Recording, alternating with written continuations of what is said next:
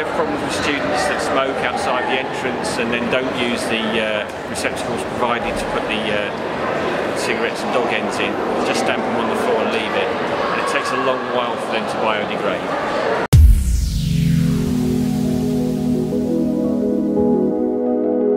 Did you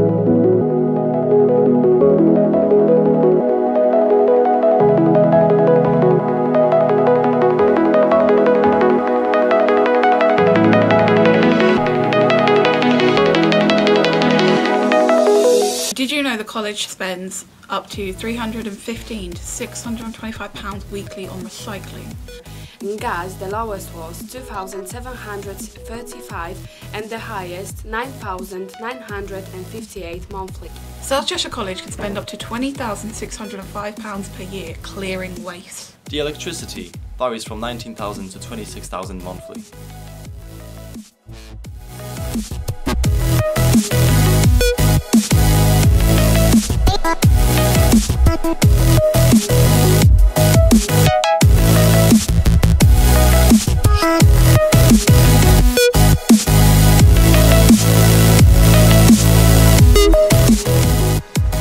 Recycled tin can would save enough energy to power a television for 3 hours.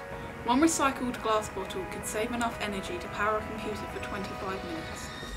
Up to 80% of vehicles can be recycled. 36 million pounds worth of aluminium is thrown away each year. It takes 24 trees to make one tonne of newspaper. What we're going to do now is we're going to go for a little spying session and we want to see how many computers is not in use with screen. screens switched and on. screen.